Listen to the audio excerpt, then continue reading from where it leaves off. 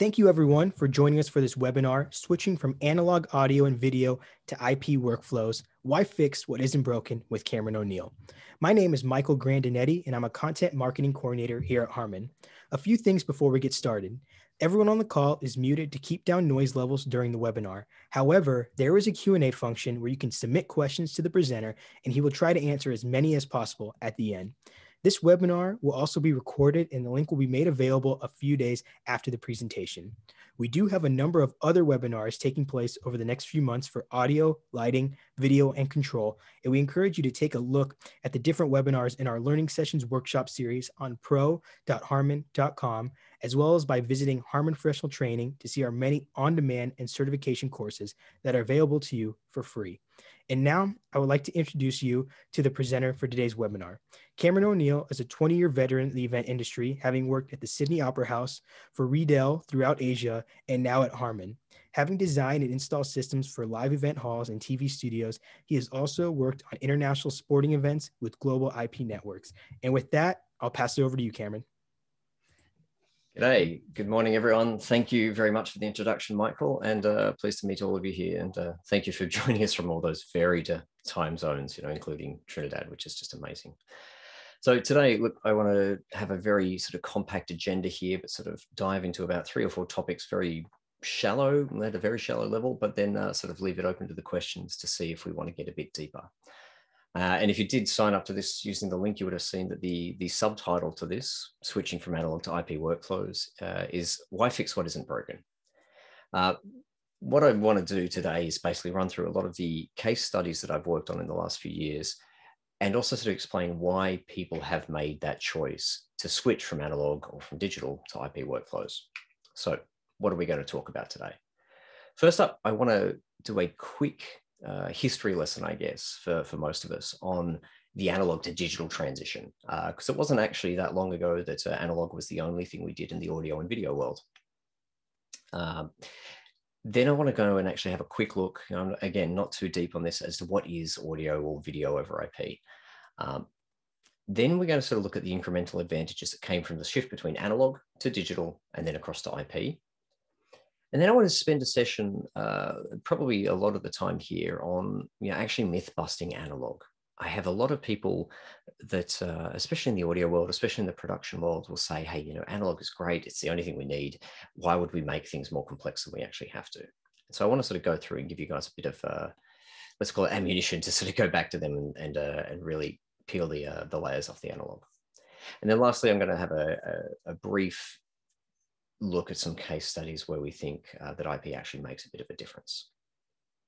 Uh, now it is a, as I said, it is a compact session. It's a, you know, it is a very strange time zone to do things in the Asian time zone. So if you do want to throw in a question at any time, do show it up. I have the uh, the Q and A section open on my computer here, so I can have a look, and I'll try and answer them as we go through. So don't be afraid.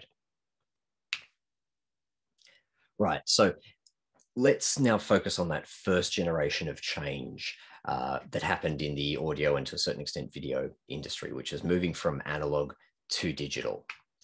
You know, this is something that happened in about the 1980s. And something that is a recurring theme in all of these generational changes is that the technology was invented decades ago. Then it moved into the what I call the play out side, you know, the playback side of uh, the audio or the video. And it was only after the technology like hyper matured into a level where um, there was lower latencies that you could actually use it in the production side, you know, in the content creation side of the equation here. Digital audio has been around for, for a long time before 1980, uh, but it was only in, at about that time then the CDs really started taking um, taking music in their stride and making it available to the people. And I think anyone who was around that time will see the, the quote unquote death of vinyl in that period and the absolute insane amount of uh, investment that went into the music industry at that time. But it wasn't until about 20 years later uh, that you could have that digital consoles got to the point where you could actually have a digital console and mix your show from it or make a recording from it you know, the, there were in the late 80s some of the initial Yamaha digital consoles. And I think Yamaha is probably, you know, as, as much as it's not a Harman brand, is one of those pioneers uh, in the digital console sense. Uh, and it wasn't until really about the, the early 2000s where you started getting, you know, guys like this, uh, the big beastie boy, the uh, PM1D, uh, or the Dolby Lake contour, sorry, the Lake contours, they weren't owned by Dolby at the time, that started pushing digital audio and digital processing into a live environment. The main difference there being that you needed to have low latency. You know, you, it's okay to play a CD back at any time, and 10 seconds of latency isn't a problem. Uh, but obviously, if you have anything more than 10 milliseconds worth of latency on a show, uh, you're going to have a lot of issues in mixing that show. Now, I'm sure a lot of people have seen uh, a picture like this before over here in terms of what digital actually is. But basically, all we're doing is we're taking the red line of the analog signal and then we sample it at a certain number of times per second. And each one of those samples will give us a binary output based on where that uh, analog signal is in the path. Now, this is what we call pulse code, post cold modulation. And it's basically turning that analog wave into a number of uh, zero ones and zeros at a really high frequency rate. So the frequency rates that we're usually sampling, so the distance between say this dot and this dot, is 44,000 times a second or greater. Uh, you'll hear 44 100 uh, and 16 bit uh, used as the CD audio quality. And when people talk about high res, they basically mean anything that's higher than that, um, which is usually about 20 bits and maybe 48K or 96K what we do when we increase the bit depth is we're basically making more between here, between the zero and 15. We start going up into the millions, depending on how big your bit depth is. And when we talk about sample rate, we're talking about how many times we sample that in a second. Now, the end result really is the same. It's just a bunch of ones and zeros. But when we start looking at the speed at which we can process audio and the even without thinking about computer processors we have a lot of let's call it spare time. You know if we look at a high res pcm stream where we jack everything right up to the uh, to the gills we're only looking at about 2.3 megabits per second which is about 3 kilo 300 kilobytes per second. And all of us know that 300 kilobytes these days is much much slower than any of our connections, whether it's Wi-Fi or Ethernet or, or 3G even.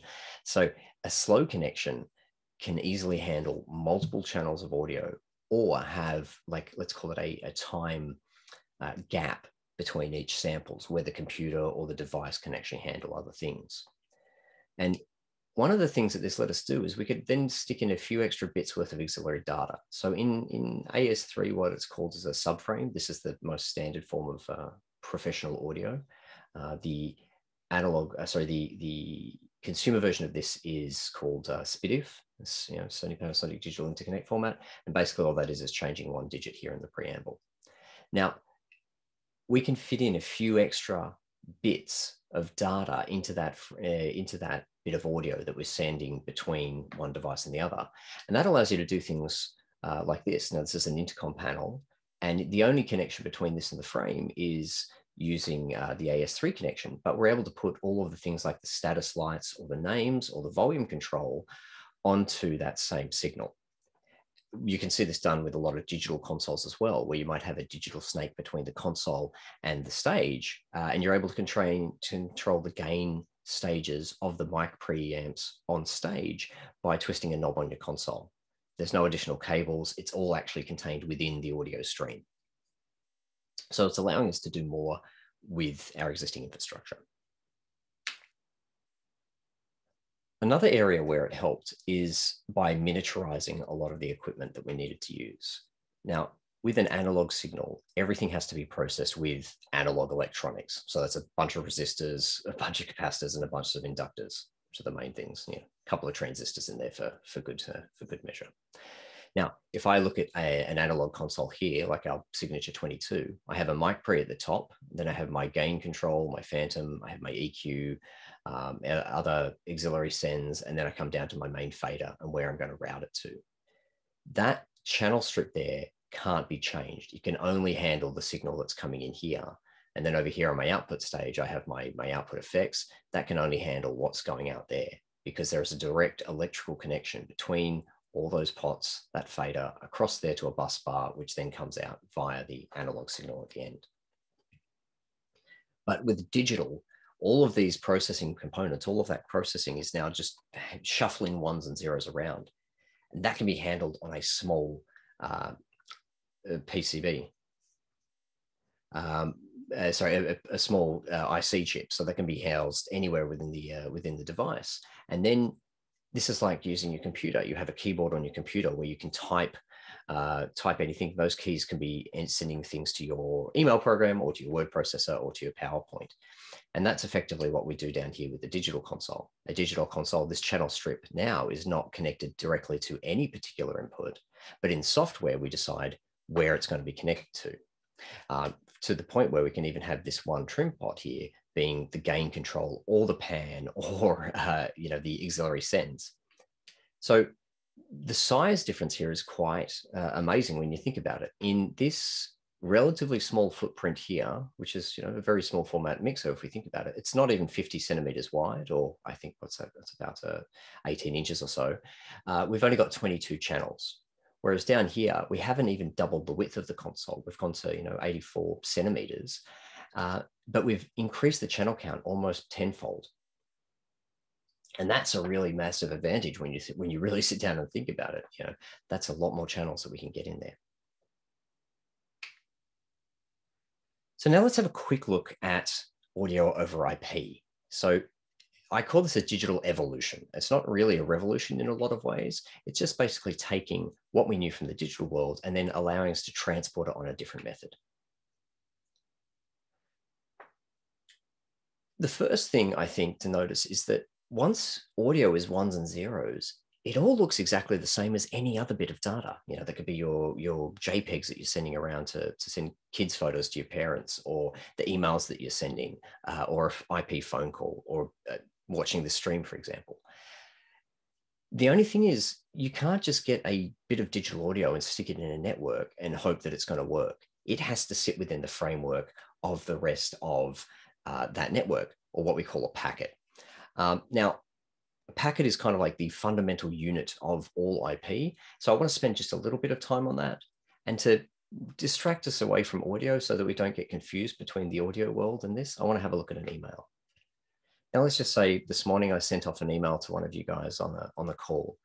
From my point of view, I just push the button and the email goes across to you. And then from your point of view, you just have an email arriving in your inbox. But what's actually happening when we do that? Well, the computer splits that email into a lot of little tinier chunks of data. So that data will now uh, look like any other ones and zeros. It can be encrypted, it could be email, it could be anything. When your computer receives that data, if it was just to receive ones and zeros, it wouldn't know what to do. And if we think about even your Outlook program, it doesn't know which email it has to connect to. So the first thing we have to tell that data is attach a bit of information to it to say, which email does this relate to? Because we broke the email into chunks. Then we have to say, well, okay, is this actually, is this email going to go to Outlook or is it going to go to Gmail? Is it my private email? Is it my work email? I don't know. Before that, one step back, the computer needs to know what kind of data is this? Is it an email or is it a part of the stream that you're watching now? Then, of course, to whom? If I'm sending an email out, I need to say, okay, this is from me uh, to Wing Chin, for example, who's sitting on the on the chat. So pleased to see you there, Wing. Um, we need to know who it's actually going to, and then, of course, there is the bigger information here about how to get there from myself to say America, there's a lot of different ways between Japan and America in terms of the internet cabling. And then lastly, which cable am I going to use? The laptop I'm using today has got two Ethernet ports, you know, a main and a backup, and it's got a Wi-Fi. So how's it going to get out of my computer? All of that information together is what we need to have a bit of information, uh, that this bit of data, this yellow bit of data, to go through the network and to have every other device on the network understand what's going on and where to send those data. So we split this into two sections usually. We call this the header, and then we have the rest of the data.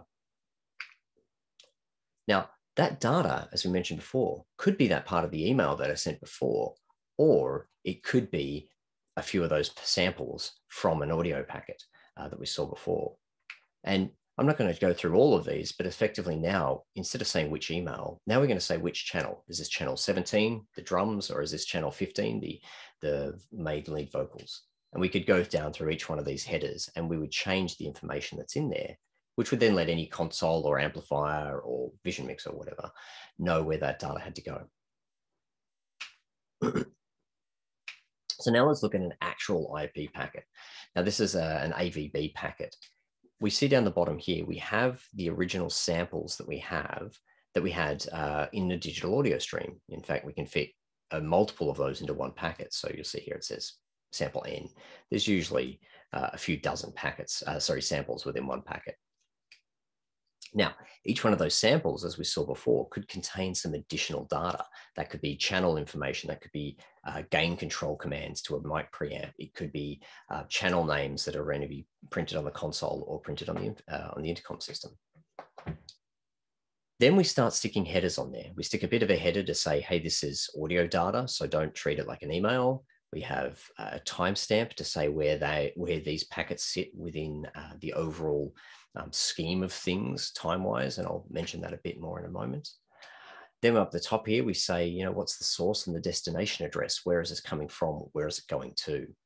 And then we have a few extra things in here. We have um, a, what's called a CRC check, which makes sure that it's all formatted properly. We have, you know, which type of data is it? Is it Ethernet or something? VLAN, which is a way of, excuse me, separating uh, packets within one network. But in general, you can see here, there's quite a lot that goes in behind uh, an IP packet when compared to a digital packet. Now, I'm sure a lot of you looked at that and probably more than half of you glazed over. Uh, and that's okay. To be honest, that's uh, those those sections just there is usually about a one day or maybe even a two day training course. Um, and I'm happy to to help people on that. And I will put up some resources at the end, so you'll be able to see those. Uh, but of course, it looks like a lot of work. Now you'd have to say most of us have done events. We have plugged things together, mic into mixer, mix into amp, amp to speaker, boom, done. That's an event. Why would I even bother doing this? Well, let's have a look at the advantages because I think each generation did bring advantages. If we start with analog, it is pretty easy, and you'll see a lot of these um, words that show up in marketing material about IP actually existed in the analog world. The first one here is interoperable. You in general, if you have a line level signal, you can plug it into any line level input and take any line level output into any other line level input, and it's going to work. You don't have to worry about if your mixer is a Yamaha and your amplifier is a Crown amplifier going to JBL speakers. You don't have to care because it's analog, it just works. It's also very easy to follow the flow. Uh, one of the things I teach people when I talk about uh, either video or audio um, I say you, you're basically working like a plumber. You have an input somewhere, which is usually a microphone or a camera. That signal is going to flow through a bunch of things and then it's going to come out at the other end. You know, if it goes in, it's going to come out somewhere or it's going to sink out somewhere. So it's very easy to sort of follow that flow because you really are taking them your hand down along the cable in in effect and saying, okay, this cable plugs into there, this cable plugs into there. And the signal flow is because of that very easy to understand if you have just shown up onto a site and the event is already set up, another audio engineer or video engineer could say, okay, here's your multi-core. This multi-core goes to that console, that goes to these amps, and then it goes out to the speaker. It's very easy and quick to explain what's going on there. So it sounds like a perfect world. So why would we even want to go up? Now, digital, we mentioned this a bit before. Um, the biggest, I think, difference is that you now have a lot more cable, uh, a lot more signals on one cable. Um, a MADI signal, for example, which is the standard in a lot of broadcast things, is um, uh, it can, allows you to get 64 channels on a single coax cable. So instead of pulling a very heavy 48 or 64 core multi-core cable, which is you know weighs a few kilos per meter, um, now you can just carry one BNC cable and connect big sections together. Um, there's also some systems like our Harman's BLU link, which can do 256 channels on a single Cat5 cable. So when you think about the efficiencies there in both space and weight and cost, uh, you actually have quite a lot of, um, of advantages there. Another thing that's not quite obvious initially is the fault finding. Because we have those extra few bits of data in each uh, sample of audio, we could put um, some data there to say, hey, my device is working properly, or here's my status. I'm set to this clock speed. I've got this much power. You can put those bits of data into those uh, spare user bits and get that information back to you at a console. So instead of having to have a problem at your console, check your console, then walk to stage and check your, your preamp box on stage, you can get the data back and say, okay, no, the preamp box is working as it should be. The problem's probably here at my console. And then we mentioned this before, smaller and fewer devices. We spoke about the smaller, but the other thing that we can start doing is we can have fewer devices. And that's because in the past, where we used to have EQs, compressors, uh, and outboard equipment, all of that can now be done in software because we're just dealing with ones and zeros. So that uh, allows us to expand the amount of effects that you'd have on stage, but without having to carry around an extra truck's worth of equipment. And then I look at IP and I look at all the marketing. And I think if you would read any marketing material from anyone promoting IP, almost all of these points are covered in there. So the question becomes what is the actual advantage of IP? I do see someone with their hand up in the uh, attendees area. So if you've just got a question, just pop it into the Q&A area and uh, we'll be able to see it there. Okay, so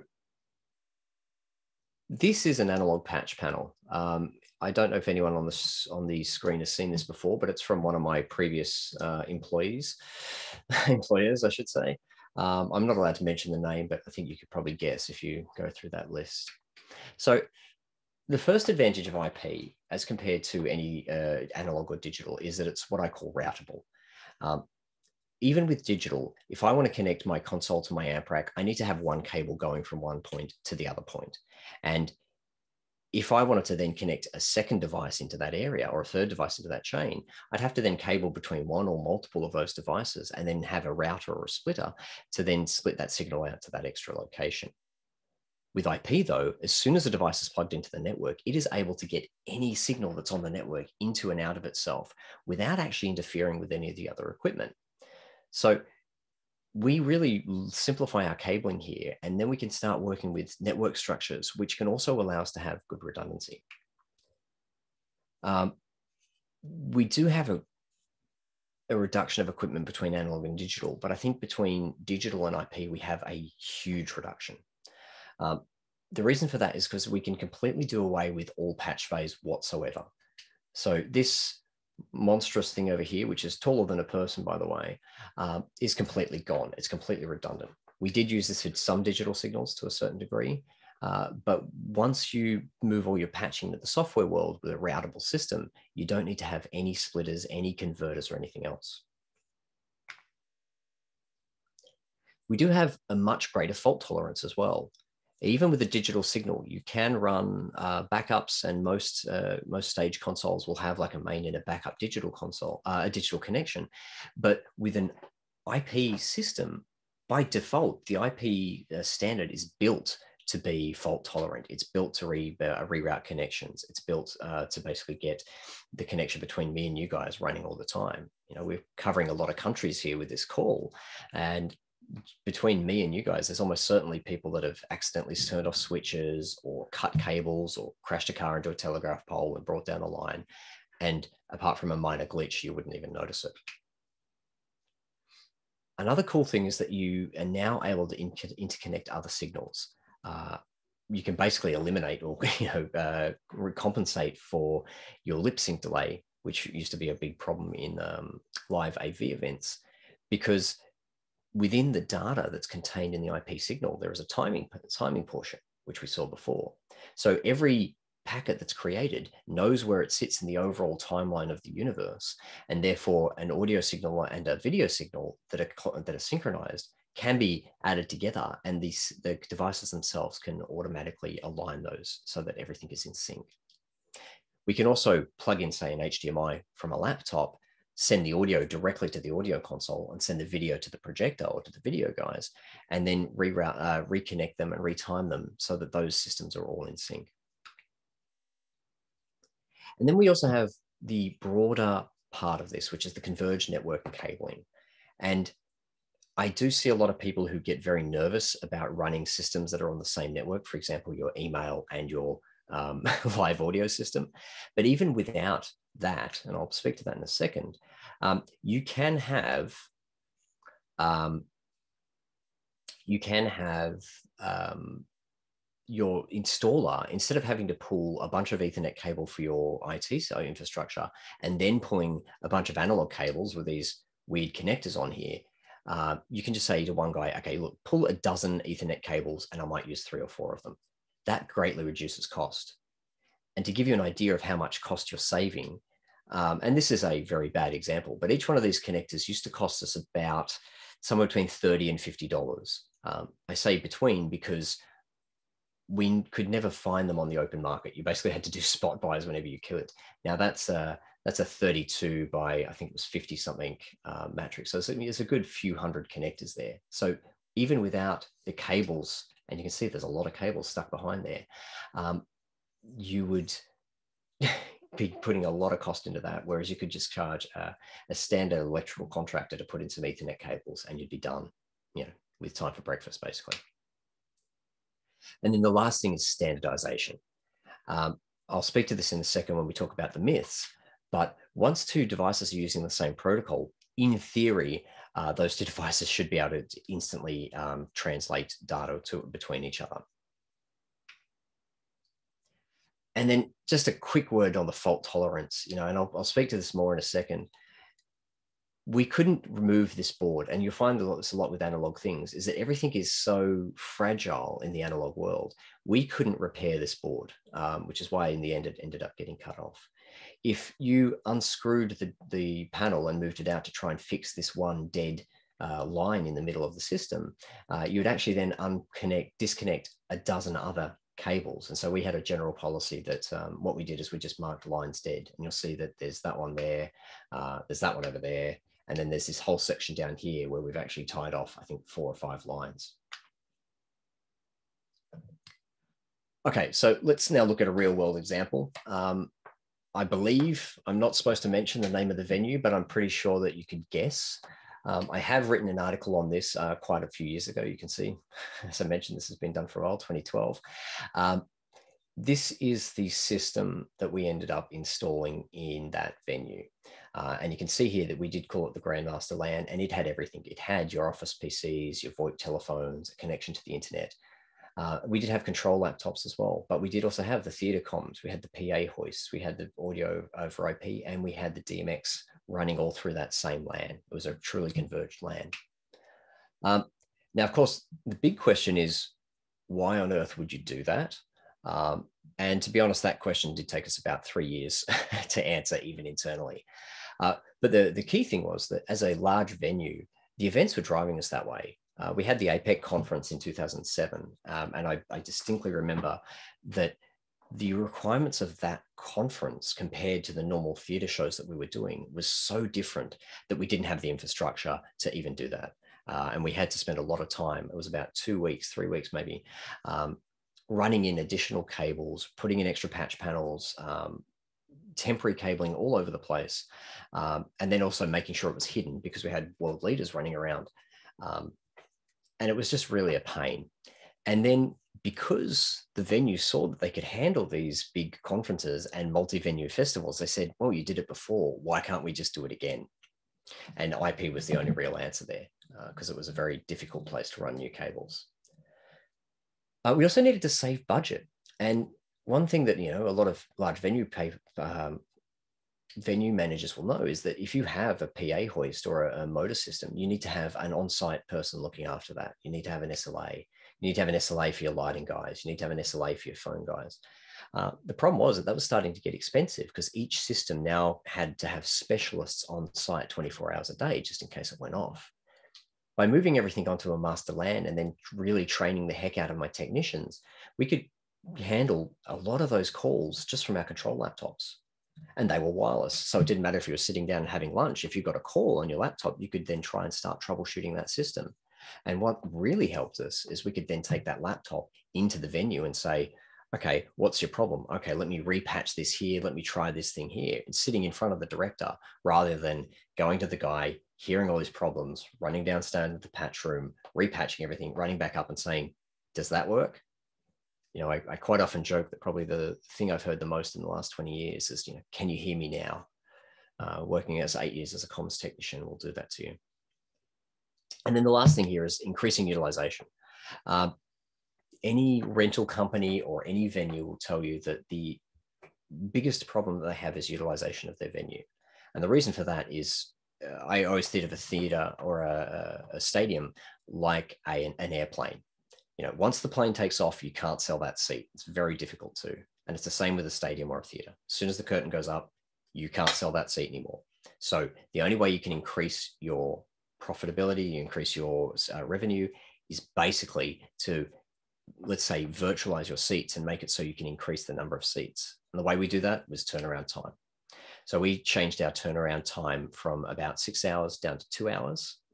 Now, that doesn't sound like a huge amount, but that is the difference between a symphony performance finishing at, say, 2 p.m. in the afternoon, turning around and getting the venue ready at six o'clock, which means a sound check at seven, which means that the show's not really going to start until about 9 or 10 p.m., or now starting your sound check at about 4 p.m., opening the doors at 7 for a normal size concert show that makes a huge difference.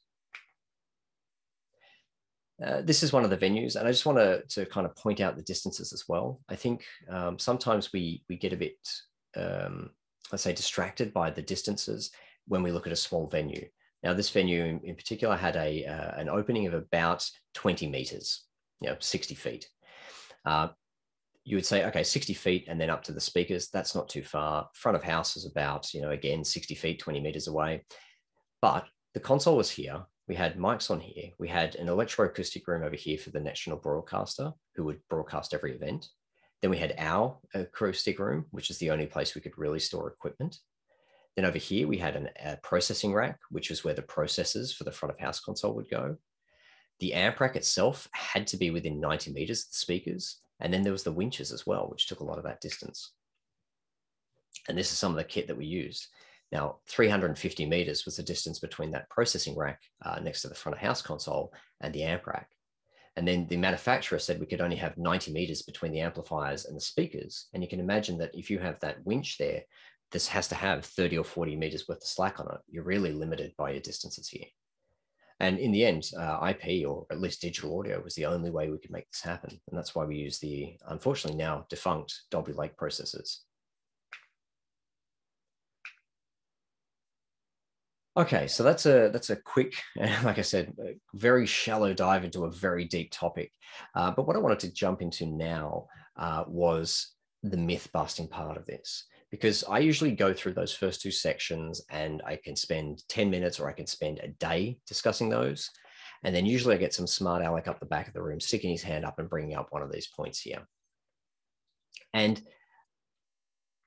I think the the key here is is what I've said on the the tagline here. People decide not to make the change across into IP, or they make the change not into digital. But I don't think those reasons are as good as people think they are. So let's look at the first one. The myth for me is that analog just works and you'll hear this a dozen times. You know, people will just say, I just go into a venue, I plug everything in and it just works. You know, I don't need to find the guy that's the DSP guy. I don't need to go and connect the core or boot up the core, reboot a switch. You know, all the signals are the same. I just don't need to think about it. I can go in there and make it work. Uh, and to that, I say, well, is that really true? Because I've done a lot of tech checks. You know, I've done a lot of sound checks, um, and almost every single one of them. There's like 15 minutes where you've got a buzz or a riz or a line that doesn't work and you've got three guys chasing down that signal from the microphone to the patch uh, to the multi-core to the patch bay to the console to the amp trying to work out where that problem is. Yeah? And as we saw before you know the patch panels are covered in tape. And then the other thing that you'll see is if you i've you know the running joke with me is everyone i go into i say hey can i let's go have a look at your machine room. Let's go look at your patch panel. And the first thing they do before they open the door is they say hey look it's a bit messy in there. Just you know it's not always like this. And that's a, that's a lie. It's always like that you know, you have those do not remove patch cables, the one that gets the conductor view to the stage manager, or the stage manager's mics to the prima donna's dressing room, uh, or the talk to stage mic that you have from the front of house console to the, you know, the, the little Eon 15 you've got on the side there. You know, so if there's not that local knowledge person, you're going to be lost anyway. It doesn't matter if, you know, you don't have that DSP expert. And then let's not even talk about connectors. You know, as we saw before, those LEMO connectors on that patch panel are only used in that patch panel. But analog does have a bunch of different standards. You know, you have mic level, you have line level, you have different, you know, dBU levels on these uh, on these signals.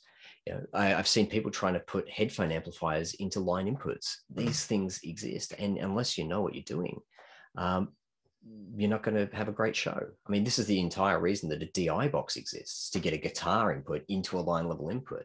So you can't just tell me you just plug everything together and you don't think about it. Then after that, there's myth number two. It's easier to fix. You know, I know what the problem is. I can go and find it. Well, yeah, you know, and once I find the problem, I know how to fix it. And I know all of these things. I don't need to go and find an IT guy to sort out, sort out my problems. You know, I can go to a site and I'm a green beret. I can fix everything. I don't need any help.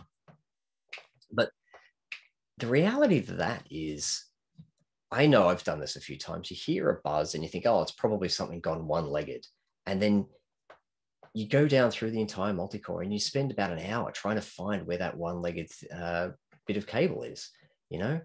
And then after that, you actually go, oh, whoops, that wasn't what it was. It was just the guy left his amp on out the back and someone had a microphone plugged into it, you know? Uh, but if I've got an IT system, I can see every point of that. And I'll come to an example of that in a moment. Yeah, and then the other things, I used to carry around a little gas powered soldering iron you know, and you'd crack open the multi-core and you'd retape something on, but then something else would break. And you go, you know what, it's just easy to put a bit of electrical tape on that, right busted, and then deal with it next time. Uh, but the problem is it might not have been that part of the chain that was busted, and you end up with tape everywhere. And I don't know if any of you have had this experience, but you know, one mic cable from mic to console is easy, but once you've got like a multi-core and a few stage boxes involved, you're kind of in a bit of trouble there. It's, you know, you've got 30, 40 meters, or if you're at a festival site, you could add like 100 meters between yourself the front of house position and the stage. You know, unless you've got a radio and a friend, you're not going to find that anytime quickly. And then there's this big one here, and this is the one that really gets me, is because people say, you know, I don't need any training. I know how to do this. I've been doing it for years. Um, if I had to go I do to IP, I'd have to learn it again. I'll have to pay thousands of dollars, and essentially, you know, learning new things is scary, and I don't want to do that. Well, the reality is, so you did learn. No one is born and just ma- you know magically picks up a uh, a mixer or a microphone and knows what they're doing. It's not. It's an acquired skill. It's not an innate skill. You know, it's just you probably did a lot of that job, uh, that training on the job. You went out and you did a did some events. You saw how it worked. You learned off other people, and you got there. And the other thing is, if you do that with I, uh, if you do that with an IP system, you know, the, the signal flow doesn't necessarily change. You're still going mic, console, amp, speaker. It's just potentially through a different cable. So you're already halfway there. You know, just because the chain, the the way you're getting around the system changes, doesn't mean the rules have changed. You, know, you still need to be have a good ear and still know what you're doing. Um, you know, or, or good eye for in the video space. And a lot of IT engineers have also just learned things on the job. Yeah, there are certain things that yes require some degree of training, but it's not like everyone goes out and gets a, a, computer science degree just because they want to be a network engineer. There are things you can learn by yourself through your own self study.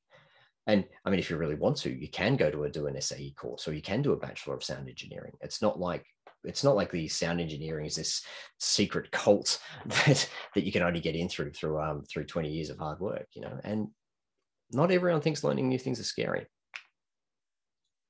And then the last one for me, really, which is that the analog systems are cheaper. And that kind of comes from people looking at uh, the cost of maybe one fiber cable or an Ethernet cable and comparing that to a mic cable and saying, you know what, we don't need that, or even a switch. Uh, especially when we start talking about more high-end systems, you go, wow, that switch costs five thousand dollars, ten thousand dollars. You know, I didn't need that in the days of analog. You know, and because the system is simpler, it must be cheaper overall. You know, I only have to think about one type of connector and blah, blah, blah. And then if I converted my system as it is now into IP, all I'm really doing is sticking a switch between my microphones and my consoles and my amps. So that's just adding cost. Surely that, you know, it's just going to increase the price.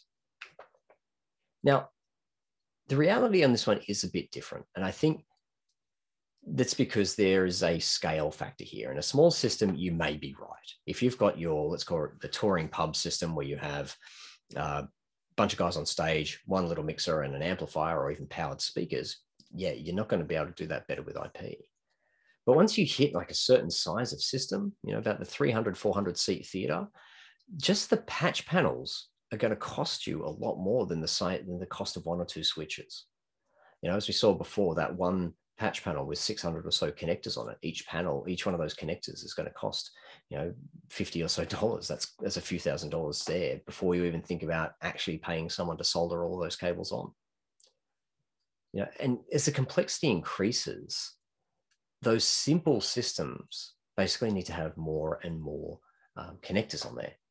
You know, that patch panel, the part, a lot of those inputs and outputs there were actually dedicated just to mic splitters. So you plug a cable from the, the stage into the mic splitter. That would then give you three or four outputs for that, for that one signal, which you could then patch around to different areas. Now, the more areas you have, the more complex the system. You know, if you think about even just adding a, a broadcast system into a standard live event, you'd then have your front of house console, you'd have your monitors console front stage, and then you'd have your broadcast console. You'd have to then split each one of those signals three times. Whereas with an IP system, you just plug into the, the console into the network and you're on the network. You have access to all those signals without bugging people. And this last one, I think, is really the key here. A lot of systems that I've seen, people have started with the system that they have today or the system that they've designed in the last uh, venue that they worked in. And then they just jam some switches in the middle. And of course, that is going to cost more. Uh, it really does bug me when you copy that analog system or even a digital system across into the IP world, uh, neglecting the fact that you could do away with almost all patch panels and do everything on fiber or everything on Cat5, and then just have direct connections to the end equipment. Um, that really does actually change the cost. And there was one uh, Stadio we worked on in France that reduced its cabling cost alone by about 30% just by switching everything to fiber. So now the the promised land, the uh, couple of little case studies here. Um, want to sort of show you some areas where we have used IP and it did actually make a difference because I do think as much as I am a proponent for IP, I think that sometimes you can, you know, bring a bazooka to a knife fight. You can come in there and, and try and do too much with the IP things when really a simple analog solution would be more than enough. So number one for me is distance. Now I showed you the example before where we had a 350 meter run between the um, between the processing racks and the amplifiers. Uh, but that's that's kind of easy mode for IP. Um, network protocols are designed to basically be infinitely repeatable and infinitely scalable. You know, we can get internet on the ISS for crying out loud. Um, you guys are watching from different countries. There's not a problem with internet traffic getting long distances. Uh, and it's not just because we can repeat that data, it's also because the Ethernet protocols have um, error correction which basically allows you to lose an entire packet, but then rebuild it from the packets that are around it. Now, it's obviously that's a gross simplification of how forward error, error correction works, uh, but definitely those are protocols that exist within the IP world. And digital systems can be replicated uh, again and again uh, without degradation. This is one thing that bugs me when people say they prefer to have vinyl. You know, every time you play a vinyl record, you know, you are degrading that signal you know, maybe infinitesimally small, but you are changing that signal, which means the next time you listen to it, it will be a different signal. Um, analog signals do have a limit here. And I think even with, let's say, a digital signal like an AES signal, uh, you can run into trouble if you're going even moderate distances. Uh, I do know certain systems that are AES3 that will say on the box that they can go 300 meters or 100 meters or so. Uh, but once you get a cable that's longer than, say, 50 meters in a production environment where you have lots of RF being spat out from LED walls or from dimmer rooms or from power that's going to winch lines, uh, you get so much interference on that signal that even a digital signal and like an AES signal will get lost. Whereas IP, you go into fiber, you can go as far as you want. There's no problem. Now this is uh, this was during a commissioning of a system here, and you can see that we had a link uh, between Darwin and Ultimo, and then eventually we did extend this um, this network out to Perth, which is about you know, three and a half thousand kilometers. Um, all of those systems there were, you know, they weren't real time because there is a speed of light effect at this length, but definitely they were fast enough that you would not notice that there was a difference between those systems. And those systems, because they had that error correction and because they had that extra data that we uh, that we talked about earlier, I could be sitting in Ultimo as I was at this time, and I could see the status of the entire country's network. So we could then eventually mesh all of these sites together. So it didn't matter. An entire site could go down or an entire line could be cut. And the user would not even notice that, you know, that suddenly their signal, instead of going directly from Ultimo to Darwin, would go via, say, Perth and then get across to Darwin. Because that's how IP works.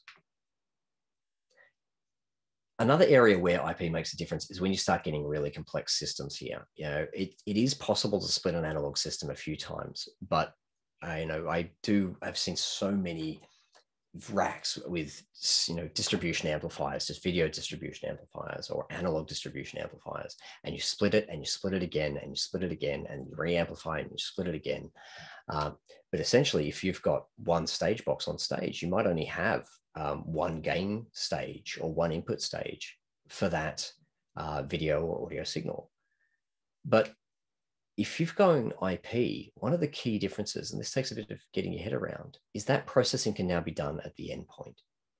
Now, with a mic signal, we have to turn that up pretty quickly um, because a, a, mic signal itself is very weak compared to the rest of the signals that are around in the system.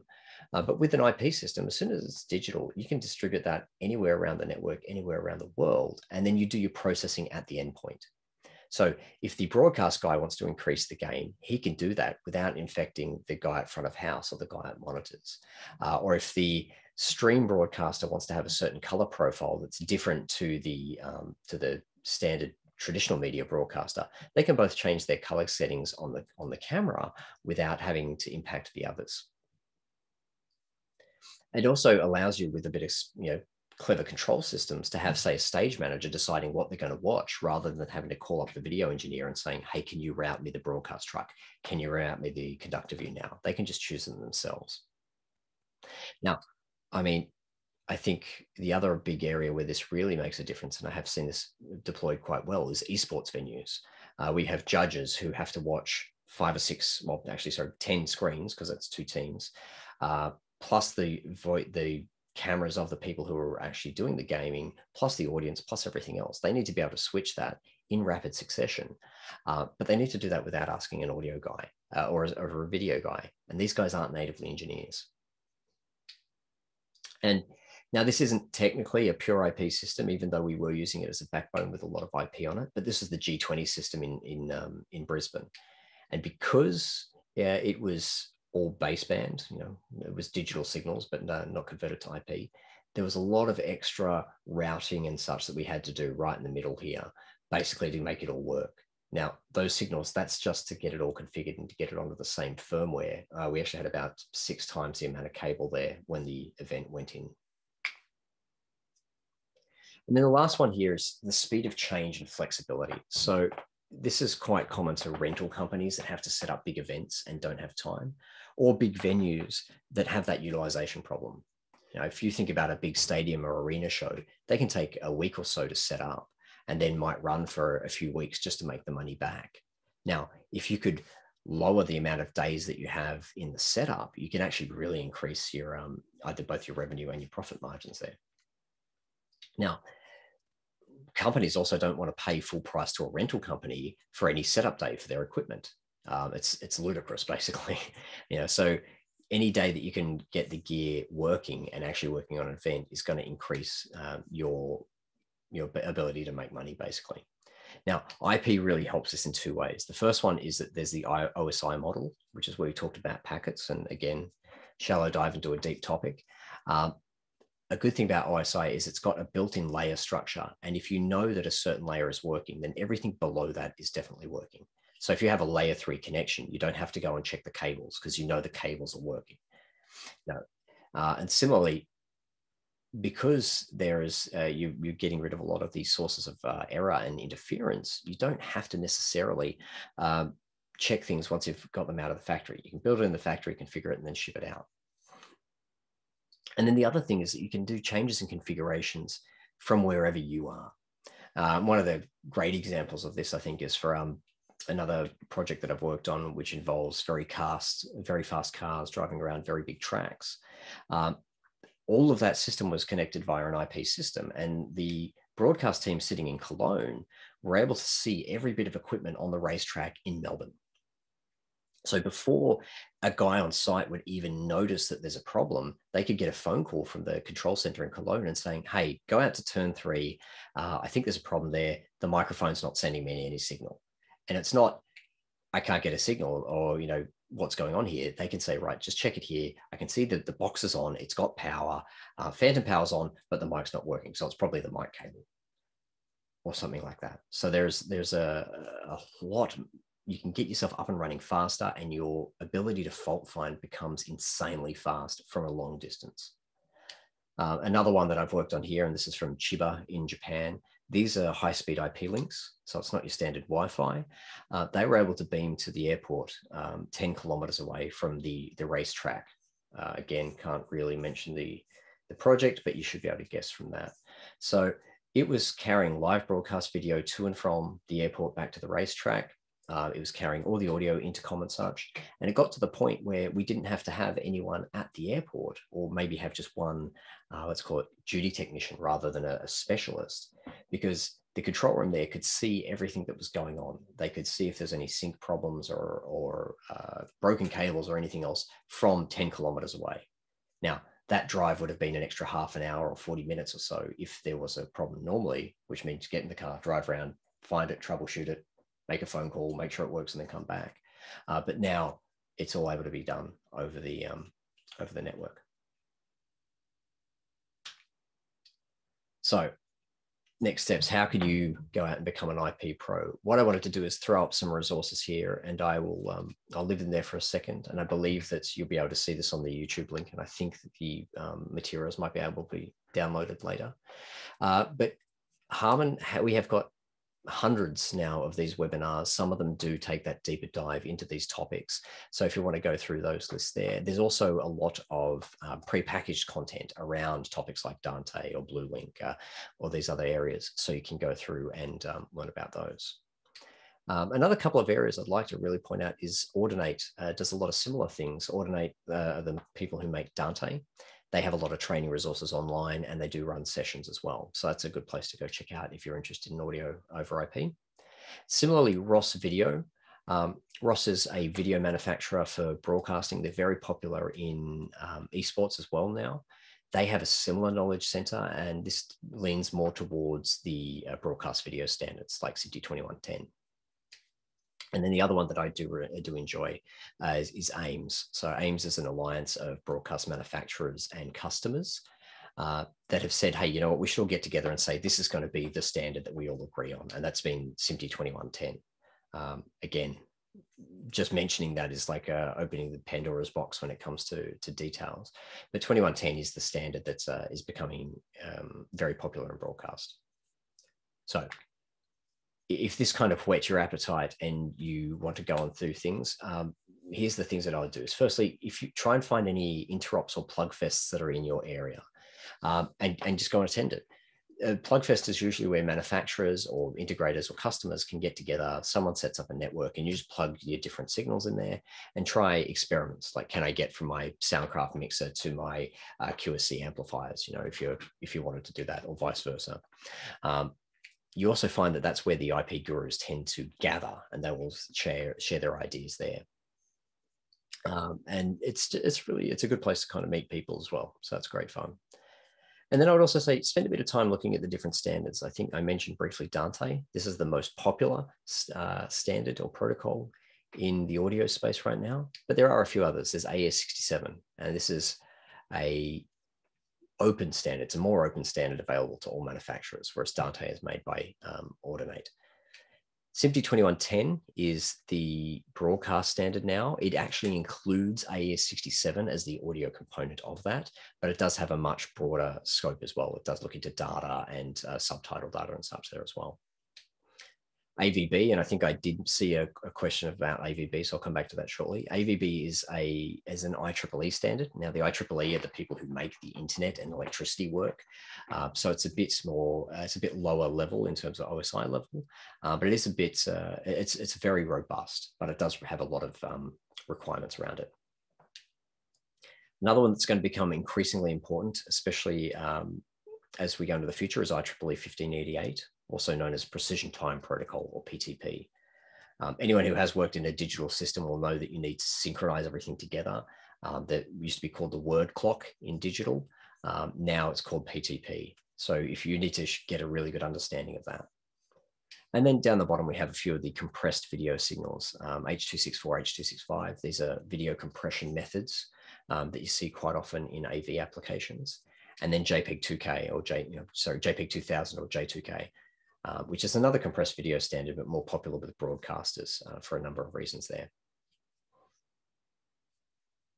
Okay, so I'm going to I'm going to go back to the resource slide here and leave that up if anyone wants to copy that down.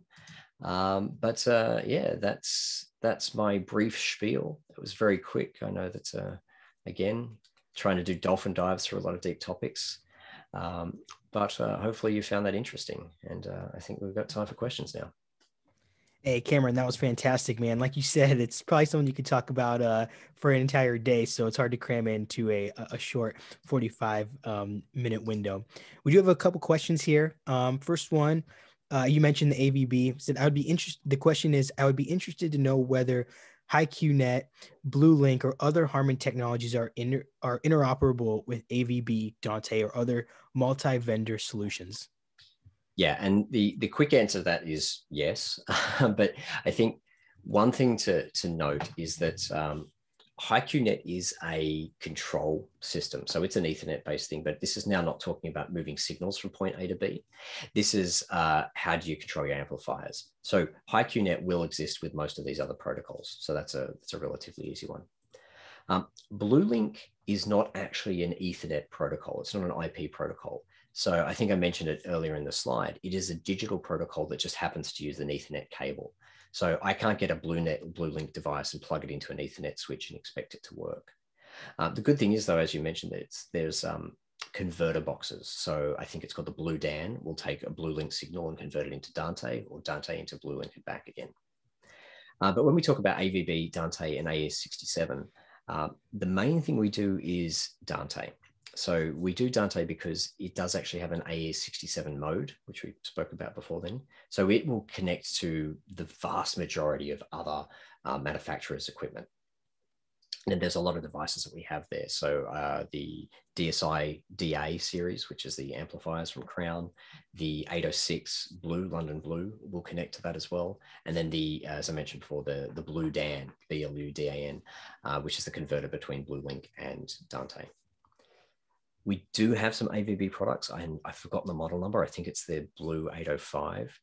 But AVB fell out of fashion probably about three or four years ago, maybe longer, because you need to have a specific switch. Uh, Dante, AES67, SMPTE 2110 have some requirements for switches, uh, but they're definitely not as strict as AVB. If you have an A, unless you have an AVB switch, your network will not work. Uh, and that's why it's limited to um, like small studio applications or live applications where everyone is using um, the, the uh, AVB standard. Cameron, you had mentioned a little bit about the in the myths, the the investment, the costs of digital versus analog. Could you dive into that maybe a little bit more and, and why, you know, digital or, or IP might not be as um, intimidating as was it might as what it might sound financially? Yeah, let me let me just uh, where did, where did I put it here? Here you go. Analog systems are cheaper, and I think I have seen, and don't get me wrong, I have seen some installations that are insanely more expensive um, than if they had just done them with analog or, or baseband, which is basically analog or digital with normal cables. Uh, there was a broadcast center in Luxembourg that was so paranoid about their redundancy and uh, their system being online that they actually installed two networks from two different manufacturers uh, to completely mitigate any kind of, of disruption to their signal. But of course, that ballooned the cost to an insane amount. Uh, a lot of that was because the design was based around getting the signals back to a core router where they usually use them and then back out to the endpoints rather than using the network as a router itself.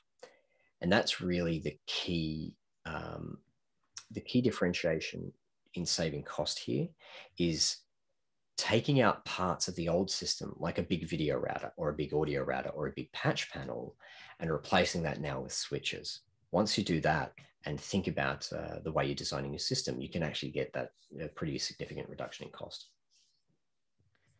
Are the uh, are the protocols fairly universal across the globe from region to region?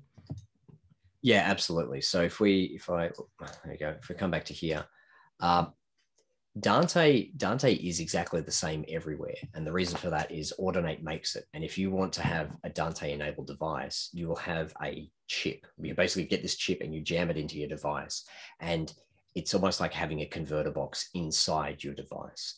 And that means that any other device that's got Dante will definitely work. Um, the other standards, you know, things that are standards. So whenever you see a bit of alphabet soup before something like AES or SMPTE or you know IEEE, uh, that generally means that there is a standards body somewhere that has said here are the rules that you have to follow. So if you want to play in the SMPTE 2110 game, here are the rules that you have to follow. And in theory, they will talk to other devices that have got the same rules. Now, the difference is less about regions, like, you know, is it 100 volt versus 200 volt? It's more about manufacturers and what they let you change, um, which is a whole, again, other topic. Uh, but that's the kind of thing you see at a Plugfest. You'll see a lot of engineers scratching their heads and then try to call up the software developers to get a, a new text field added to their control software maybe uh maybe that's your next session who knows um, yeah when uh when you're look when you're looking down the line in the into the future you know do you, do you see the transition away from analog becoming is it starting to gain momentum or is it roughly the same as it's been in the in the last five years? Where do you see the the, the market um or i guess the need in in in in the short future? Yeah, no, that's that's a really interesting question because I spent a lot of time in the broadcast industry with Riedel, and uh, at that time, about five or six years ago, we were saying, oh, the AV industry is so far ahead of broadcast, and broadcast will take forever to get there. It'll take about four or five years. Um, and then in that space, pretty much every broadcast installation these days is doing something in the IP sphere on the content creation side. Um, now, moving across back to AV, we hear the other things like, oh, broadcast is so far ahead of us, it'll take five or six years.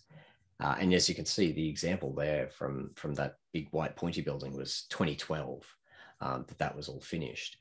Uh, so we've been there for a while, but what you're probably going to see is it's going to be that switch between the the people that have got the ability to do something and do it because it's fun, like a certain myself, um, and the mainstream doing this. And I think you'll see that that's going to switch in the next couple of years uh, because of the maturity of higher speed standards. Um, with your switches. You know, it's now very uncommon to find a switch that's not capable of a gigabit or faster. Uh, the maturity of the standards, like the, some of the standards that are on screen here now, like H.265, which is a very fast, very small um, video codec, and the deployment of things like AES67, which has allowed manufacturers to start really investing into that. The customers want it, which becomes this feedback cycle, which really accelerates things. So yeah, I would not be surprised if, like in the digital world, like again, it started about 2000 and it wasn't until about 2006, seven where it became the norm. Now we're kind of really, let's call it quote unquote, starting here. And in five to six years, if uh, it becomes the norm, I would not be surprised. Interesting. That makes a lot of sense. Well, that's all the questions we have for you today. Cameron, definitely want to thank you for your time and for this awesome session. It's extremely interesting. Um, we want to thank also all the present all the attendees who joined who joined this presentation. Thank you for for joining us today and for the questions. Please remember that the recorded version of this webinar will be available on our Harman training portal here in the next few days. So definitely be on the lookout for that. And also make sure to take a look at all of our upcoming sessions on audio, video, lighting, and control that will be taking place over the next few months. For Harman, I want to thank you guys again for joining us, Cameron, for your time, and want to wish everybody a great rest of the day. Thanks again.